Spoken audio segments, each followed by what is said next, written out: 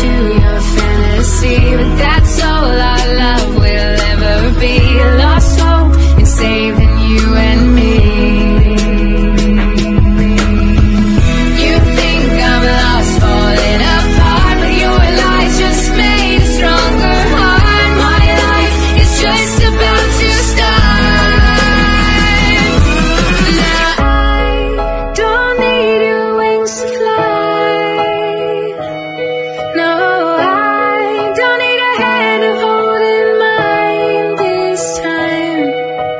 hand me down.